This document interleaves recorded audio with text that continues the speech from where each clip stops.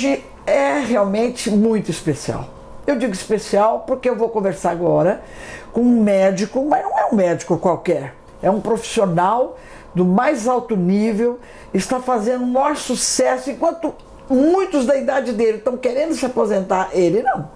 Ele está cada dia mais melhor e sempre atuante.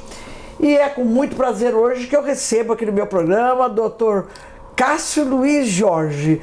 Que saudades de você. Tudo bem, doutor? Maravilhosamente bem, Cida. Foi muito bom revê-la, viu? É. Deu há bons tempos que nós vivíamos, convivíamos juntos, não é verdade? É verdade. Foi muito bom revê-la, viu? Pois é, mas doutor, o senhor hoje é, tem duas especialidades. O senhor é nutrologista e também é, é especialista em longevidade. Eu acho que longevidade foi uma das especialidades que mais me chamou a atenção. Por isso é que eu procurei por você. Vamos falar um pouquinho sobre a sua especialidade, Perfeito. porque eu sei que o senhor recebe clientes aqui do Brasil inteiro. Por quê? Tem motivo para isso, né? Não é isso mesmo, doutor? Perfeito, perfeito. Vou falar um pouco então sobre isso, o que, que significa, tá bom? A minha formação básica é ginecologia há 39 anos, né? Pronto, já falei a minha idade, né? Não É. tenha dúvida, né? É. Formada aqui pela FAMERP. E depois, há 13 anos atrás, eu procurei me especializar, recebi um convite. Eu fui fazer uma pós-graduação em fisiologia hormonal e bioquímica em São Paulo. Não contente com isso, eu fiquei realmente encantado que isso estava proporcionando com as pessoas. E eu vim aqui, voltei para a FAMERP e fiz pós em nutrição também. Né? Não satisfeito também, como você falou aí, já não conseguimos mais parar. E eu consegui, fomos para São Paulo novamente, na Campos Elíseos, e fizemos a nutrologia. A nutrologia é uma especialidade nova na medicina, faz parte do rol da- das especialidades médicas da Associação Médica Brasileira, tal, e ela engloba bastante a endocrinologia, a hormonologia, bem como a alimentação, a nutrição. Então, o foco da nutrologia hoje é o bem-estar total de um paciente. Não tem só um olhar para um lado, para a dor de cabeça ou para um intestino irritável. Então, ele tem um olhar amplo da pessoa. E a longevidade, o que significa? Que nós temos o quê? Envelhecer. Estamos envelhecendo. Né? A nossa expectativa de vida aumentou mais de 30 anos nos últimos anos. E nós estamos na quinta região mais longeva do país. Né? São José do Rio Preto, ano passado, foi a cidade, a terceira cidade para se envelhecer melhor, no índice. Piracicaba, Maringá, Piracicaba e aqui. Então, nessa região existe um aumento da longevidade. Então, a expectativa de vida aqui é muito mais alta. Hoje, de cada quatro que nascem aqui, se dá seis, é, três já vão chegar aos 100 anos, filha. Olha que baixo. Você vai entender. Agora nós vamos envelhecer. Então, a Que maneira... pena que eu não nasci nessa época. Eu também. Então, a maneira que nós vamos envelhecer, é que começamos a escolha. Por isso, a chama medicina da longevidade. Na verdade, é um termo ah, que nós transformamos para o português, porque ela foi formada em Harvard há 24 anos atrás, há 20 anos. E seria anti-aging, mas não fica muito ético anti-envelhecimento, porque não é um anti-envelhecimento. Nós envelhecemos. Né? Então, assim, da longevidade, que maneira nós vamos envelhecer? Envelhecer com qualidade. Saúde, né? Lógico, não tenha dúvida, né? Nós temos inúmeras perdas, né? A partir dos 35 anos. Sei. Então nós precisamos estudar o que, que é o nosso O corpo, porquê da perda? o porquê da perda. Nós vamos entender o nosso corpo como uma grande orquestra. Uma orquestra assim perfeitamente afinada, harmônica. Uma orquestra constituída por 202 instrumentos. Quais são esses 202 instrumentos? Nada mais, nada menos que 202 hormônios. E eles hoje que comandam a nossa vida. Então nós envelhecemos porque nós paramos de produzir hormônio, não é o contrário. Sim. Então, a partir da média de 35 anos, onde que está no nosso carimbo genético, que nossa expectativa de vida está escrito válido até 35 anos, seja para mim ou para você, entende? Nós começamos tendo declínio da nossa produção hormonal. Pois é, eu quero deixar registrado aqui que a- essa oportunidade que, que você vai me dar, porque é realmente algo fantástico. Eu trabalho com a minha imagem, a televisão então aumenta muito mais ainda a imagem da gente, e eu vou começar um tratamento com o senhor. Então, o que, que nós vamos combinar? come vamos começar e depois eu vou voltar aqui. Perfeito. Entendeu? Para mostrar o meu telespectador Perfeito. como eu fiquei. É isso Perfeito. mesmo. Eu estou Perfeito. acima do peso com essa pandemia de mais de 10 quilos. Infelizmente. Porque você fica preso em casa, você não tem muito o que fazer, você fica ou lendo, ou vendo televisão e comendo. E, e, e, não é o problema de comer errado. Então, vamos combinar assim? Estamos Então, hoje nós vamos deixar um recado aqui, vamos deixar o, o endereço seu, para que as pessoas que estão nos assistindo, tanto aqui na região de Rio Preto, como na região de Araçatuba e Presidente Prudente, porque quando eu trago um profissional no programa, não é para brincar, é porque ele merece esse destaque aqui dentro. Então, eu quero muito te agradecer por essa oportunidade que você vai me dar. E eu tenho certeza que eu sou uma pessoa eu sou determinada. Super! determinada. E quando eu quero uma coisa, eu consigo. E eu vou conseguir. Nós vamos tá trabalhar em conjunto, Cida. A ah. determinação sua eu já conheço de longa data e você, além de ser determinado, é vencedor e vai vencer essa Se. Deus quiser. Eu, eu, que agradeço a oportunidade. É uma etapa que não vai ser difícil, com certeza. Vamos deixar o endereço? Vamos. Nós estamos aqui no Georgina, hum. né? Business Parks, Avenida Benedito Rodrigues Lisboa, tá? Na Torre Milan Norte, sala 107. É isso aí. Então vocês venham aqui e o telefone? O telefone 17 3235 2200 e na tela nós vamos deixar inclusive o e-mail, tá? E o telefone celular para todos. Ótimo. Então, tá muito obrigado. Eu que agradeço. E até depois quando eu voltar aqui. Se Deus quiser, bem magrinha. Quem viver verá. é isso mesmo. E o programa só vai agora para o intervalo e daqui a pouquinho a gente vai voltar. Não saiam daí, porque o Joca Maluli está trazendo aí a sua mãe, a Verinha, que comanda o buffet em Aracatuba e com certeza vocês vão adorar.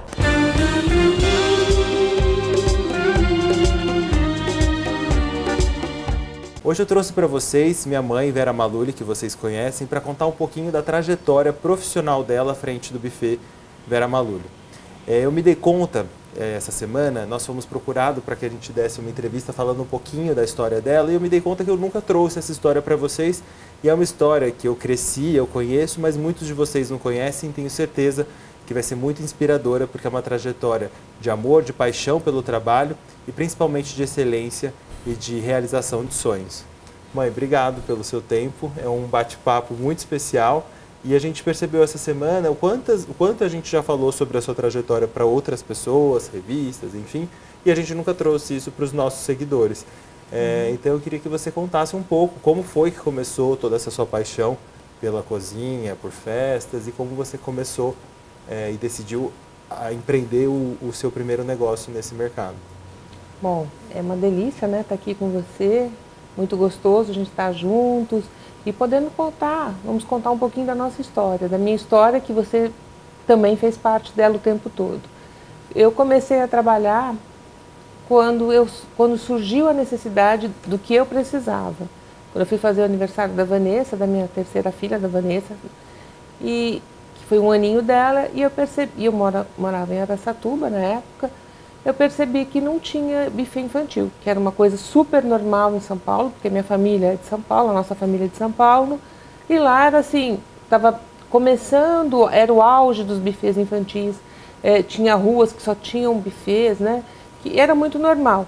E as mães começaram a perceber que era muito mais fácil você ter um buffet infantil, que você tinha, você ia lá, fechava um pacote com doce, salgado, com decoração, enfim, você só chegava com seu filho na hora da festa. É esse conceito hoje comum de Sim, você que hoje é super mas que comum. na época não tinha quem era Não, na época era assim, você corria atrás da decoração, corria atrás dos docinhos, corria atrás. No meu caso, eu não corria atrás de comida porque eu sempre fiz. Minha família sempre foi uma família muito festeira. E aí eu fui para São Paulo, fiz a festa da Vanessa, de um aninho, o batizado dela, e me encantei com o setor. Achei bárbaro, fabuloso. Quando eu cheguei, quando eu voltei, eu falei, pedi para o seu pai, Falei, eu acho que eu quero montar um buffet. E aí ele me deu todo o apoio, porque sem o apoio dele, evidente que não seria possível. Eu montei o primeiro buffet infantil da região, que era o, milkshake na época.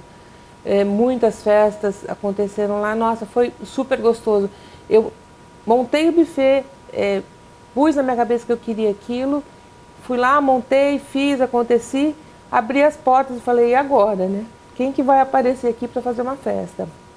Para minha surpresa, na primeira semana eu já consegui fechar uma festa de um aninho, é uma festa de um aninho, de um casal que estava procurando, achou interessante a proposta, foi lá, fechou a primeira festa e daí, daí por diante as coisas foram acontecendo, acontecendo, acontecendo e foi um tremendo sucesso.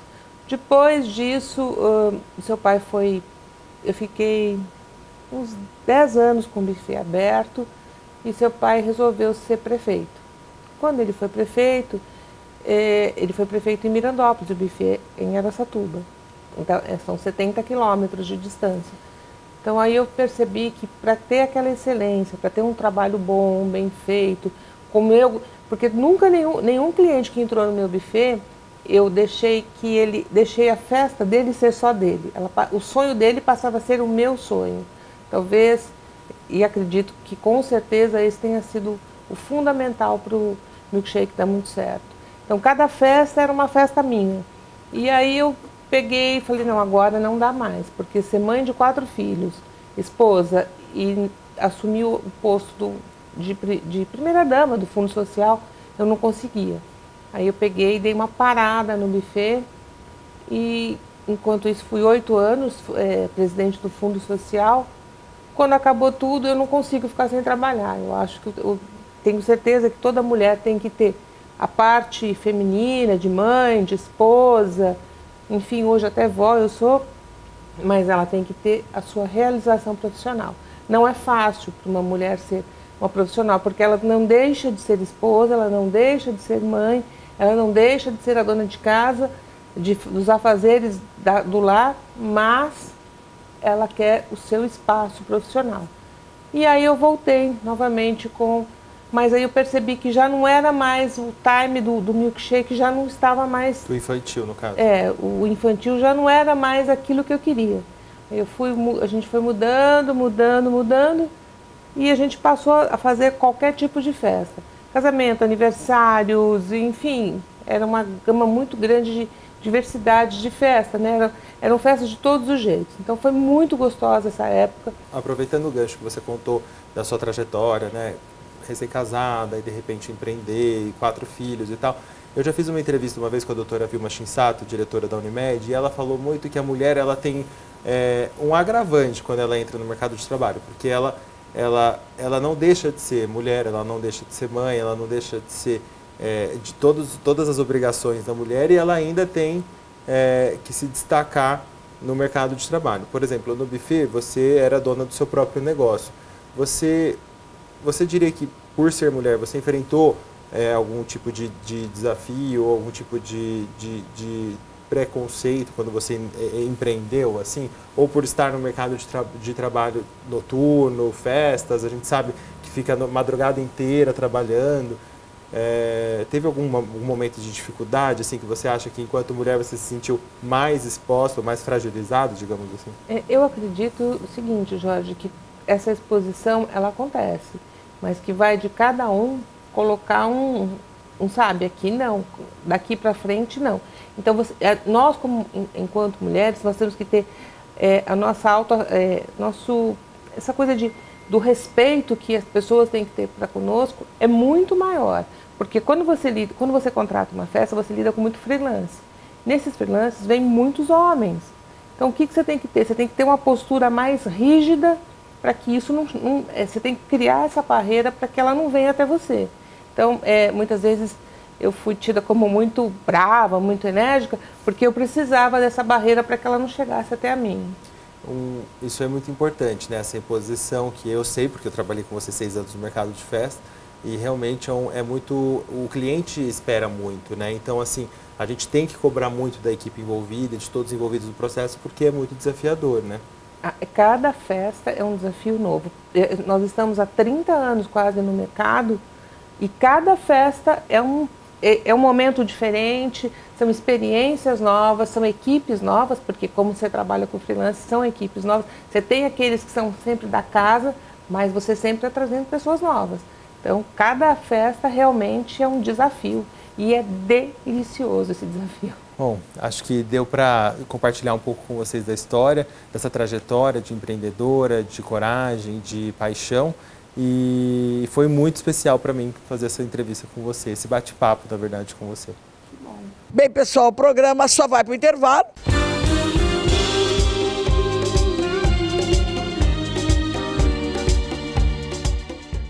Gente, vocês não imaginam a alegria que eu estou hoje. Estou aqui no Colégio Ateneu. O Colégio Ateneu sempre foi o meu parceiro aqui no programa. Desde, acho que quando eu comecei aqui, há quase 20 anos atrás. Hoje a escola tem 36 anos, partindo por 37 e fazendo sucesso. Lógico, na Zona Sul de São José do Rio Preto, em frente ao Rio Preto Shopping Center. Precisa melhor? E eu estou aqui com o coordenador de ensino aqui da escola, que é o Walter Poletti Neto. Walter, que alegria estar aqui hoje mesmo, viu? Estou muito contente. E pensar que eu fui contemporânea de escola do Colégio Santo André, da sua, da sua mãe. Vi você crescer, sua irmã Sandra crescer e hoje é uma grande realidade. Mas vamos falar um pouquinho aqui sobre a escola. Essa escola a rotina dela mudou um pouco com a pandemia, não foi isso mesmo? E quais são as perspectivas para 2021? Cida, primeiramente a gente que agradece sua presença, estamos felizes em recebê-la. A gente acompanha você faz muito tempo, sabemos do, da amizade que você tem com a minha mãe, é, todo o carinho com a nossa família, então é recíproco, tá? É, 2020 foi um ano diferente para todo mundo, né? E as escolas, acho que mais do que qualquer outro segmento, teve que se adaptar com uma velocidade que a gente não está acostumado, né? Nesse, nesse Sair da rotina, meio. né? E da noite para o dia tudo parou. É. E eu lembro que várias escolas decidiram tirar férias, né, para se, é. se reorganizar. Vocês continuaram. Nós continuamos, nós é, fizemos inúmeros treinamentos com os professores é, para fazer os trabalhos online, para fazer as aulas ao vivo, utilizar as novas ferramentas. Continuamos com o nosso trabalho, continuamos com aplicando os conteúdos, fazendo as avaliações normalmente, seguimos nosso calendário o ano todo e graças a todo esse trabalho, né, todo esse esforço de todos, da equipe é, pedagógica, dos professores, dos alunos que entenderam toda a situação e, e se uniram né, junto com a escola para resolver isso né, da melhor maneira, é, a gente atingiu resultados aí incríveis durante o ano. Né? Por exemplo, a gente participou da Olimpíada Canguru de Matemática, que é uma Olimpíada em nível nacional. Recebemos 20 medalhas. Que maravilha! Todos os níveis ah. da escola, né? Inclusive eu trouxe uma de ouro aqui para o pessoal Olha. ver. É, foi um resultado muito expressivo, né? Que maravilha! todo o trabalho feito online, uhum. uma maneira nova. Uhum. É, a avaliação é, Pitágoras, que é o nosso sistema de ensino, eles também têm uma avaliação nacional. Nós tivemos seis primeiros lugares né, no, do Brasil todo com os alunos. Então, mesmo com todas as dificuldades, a gente conseguiu levar, levar conhecimento, levar as melhores práticas de ensino. E não parar. Isso que foi não importante. Não parar a educação jamais. Agora, o sistema de ensino aqui do Colégio Ateneu. O que, que o Colégio Ateneu, por exemplo, foi adotado aqui? Porque eu sei de uma, uma pessoa que que tem filho aqui há muitos anos, desde que quando acho que começou no infantil, ela tem o filho aqui. E ela fala sempre para mim, Cida, o Colégio Ateneu é diferente. É isso mesmo? É diferente. A gente está adotando esse ano o sistema Pitágoras, né, que é um sistema de Belo Horizonte, já tradicionalíssimo, mais de 50 anos no mercado, que aprova no Brasil inteiro, tem resultados expressivos, né? E a gente esse ano fez essa troca porque é um sistema, é o único sistema do Brasil de ensino que está totalmente atualizado com a BNCC, que são as, no, as novas normas e diretrizes educacionais. Então é um material totalmente atualizado e ele tem um segmento, uma linha. Isso vai de... ser a partir de 2021? Não, já 2020 já tem. a gente já começou a adotar esse Sei. material. Inclusive foi, vai dar continuidade. Foram, foi, eles foram fundamentais nesse suporte online também, dos treinamentos com os professores, né? Sim. É, toda a plataforma que a gente utiliza, que é a plataforma Pitágoras também. É, e é um material que ele tem um segmento, né, uma continuidade desde a educação infantil até o ensino médio. Então você pega aquele material, o aluno que trabalha com ele, ele vai sentindo essa continuidade em todos os níveis que ele passar. Agora, o Colégio Ateneu, ele, ele oferece diversos programas, não é isso? E quais são a, a importância de cada um deles? Nós temos três programas que seriam extracurriculares, né, podemos dizer assim, que são fundamentais, são pilares da nossa escola. Né? O primeiro deles é o bilíngue, que a gente adotou também esse ano.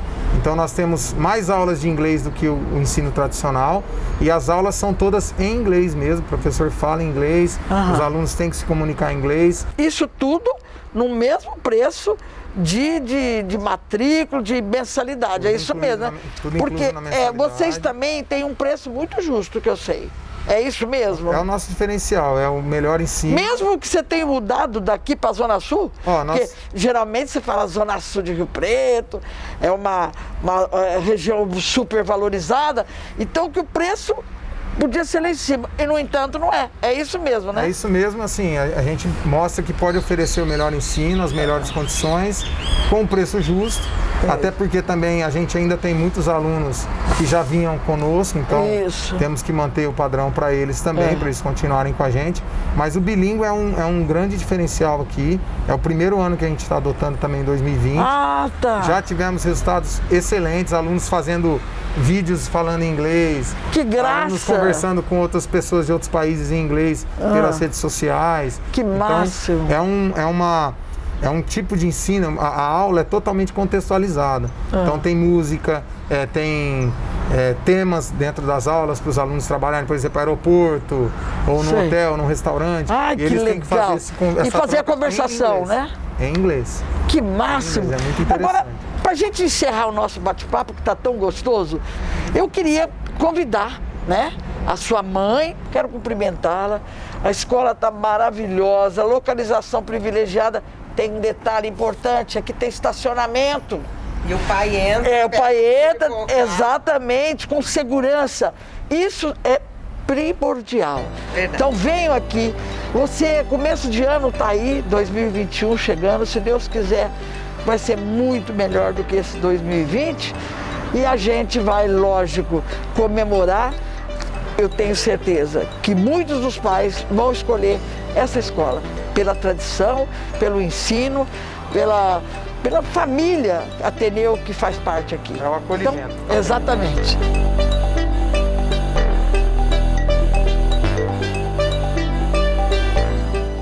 Bem, pessoal, o programa Cida Caran encerra por aqui.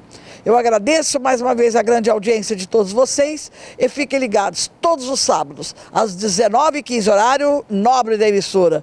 O programa estará sempre em destacando eventos, destacando reportagens sensacionais para todos vocês.